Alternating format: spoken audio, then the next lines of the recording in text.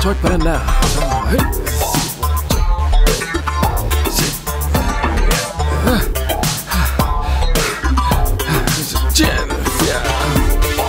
Her den anden dag blev jeg spurgt, om jeg kunne lave en VM-sang En rigtig dejlig VM-sang Heldigvis så havde jeg en gammel AGF, som jeg ikke skulle bruge Det er den her, så den tog jeg bare Så nemt er det faktisk.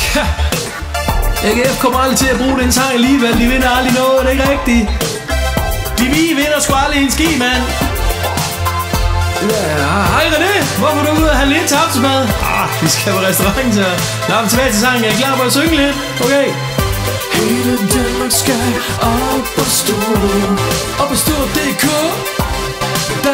Vi kan slå.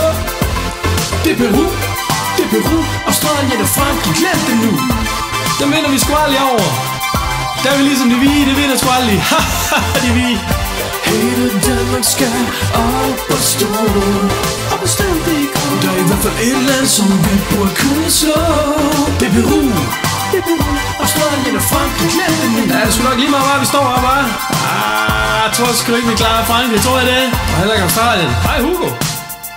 Frankrig, de er mega stærk.